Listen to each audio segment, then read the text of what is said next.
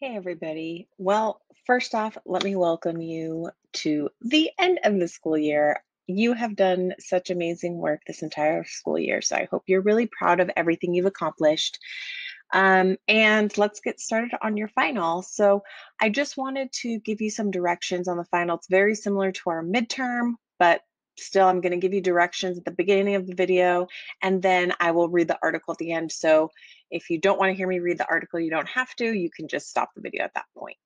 All right, so keep in mind, um, this is what your final actually is, this part over here, that claim evidence reasoning. Um, so reminder, you're putting what is the claim that the author is making. There's a couple of different claims that you could put, but you're basically saying what's the claim that the author is making. Um, in the evidence section, you can include maybe one or two quotes um, of evidence um, that supports your identification of the author's claim. Um, again, you should write two or three sentences that summarizes how this author supports her position. And then for the reasoning part, this is where you are going to explain exactly how those quotes and that evidence you selected supports um, that the author's claim is what you are saying it is. So um, very similar to what we did in spring. Again, that's what you're going to kind of do. If you're not sure, if you get stuck, I know sometimes it's it's easy to get stuck on the reasoning section. Feel free to private message me. Um, we can brainstorm ideas together, and we'll get through this together. Um, so I'm going to read the article to you now. If you want, you can listen to me. If not, that's fine as well. Um, but yeah, all right. So cheetahs on the brink of extinction again. All right. Cheetahs are spotted cats, best known for being the fastest land animal, sprinting at speeds of about 120 kilometers or 75 miles per hour. They can accelerate from 0 to 97 kilometers, 60 miles per hour, in three seconds, making them faster than most sports cars. Cheetahs use their acceleration and speed to chase down and catch their prey, such as gazelles on the sub Saharan savannas of Africa. Cheetahs have small heads, lean bodies, and long legs. They have a yellowish tan coat with distinctive black spots. And they are facing extinction. Pressure from climate change, hunting by humans, and habitat destruction are reducing their populations. Cheetahs also face problems from their own genes. Cheetahs have a low rate of reproductive success, meaning that as a species, they are not always able to reproduce. With fewer offspring, the population can neither grow nor adapt to changes in the environment. The next section is called bottleneck events. Cheetahs today are heading toward extinction. However, this is not the first time that cheetahs have faced extinction. Genetic analysis of wild cheetahs shows that they have survived at least two bottleneck events. In biology, a bottleneck event occurs when something happens to sharply reduce the size of the population.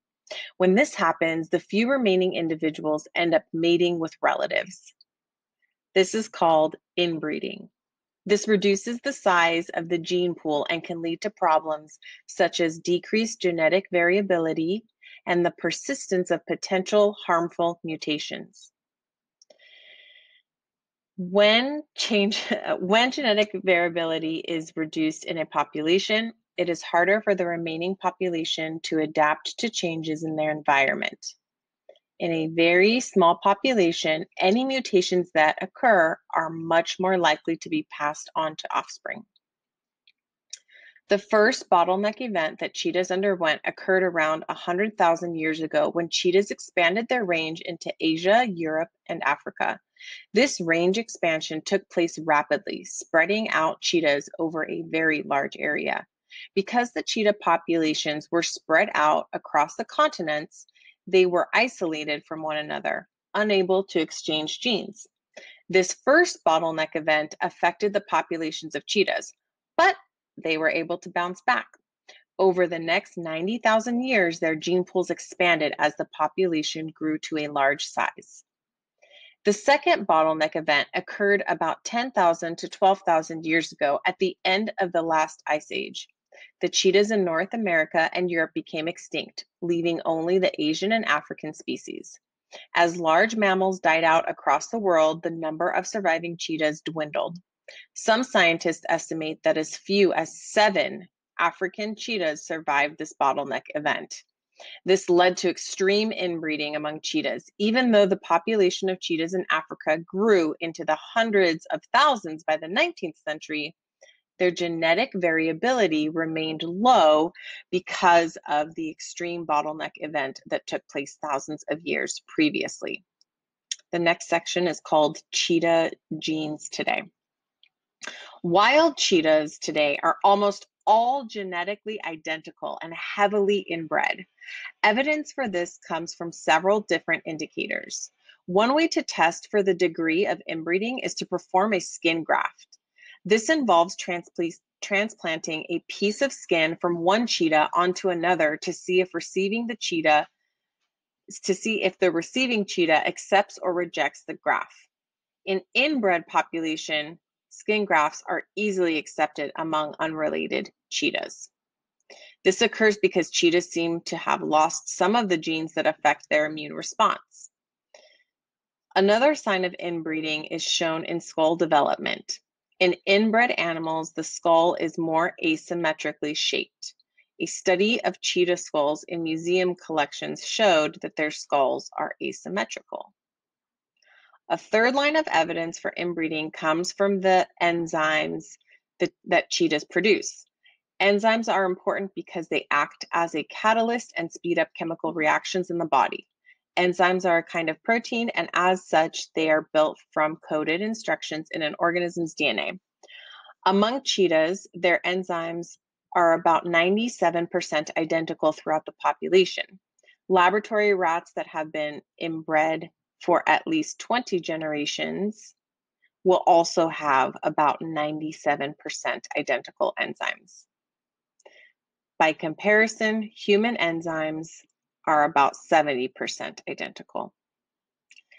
Cheetahs are facing extinction from many different factors.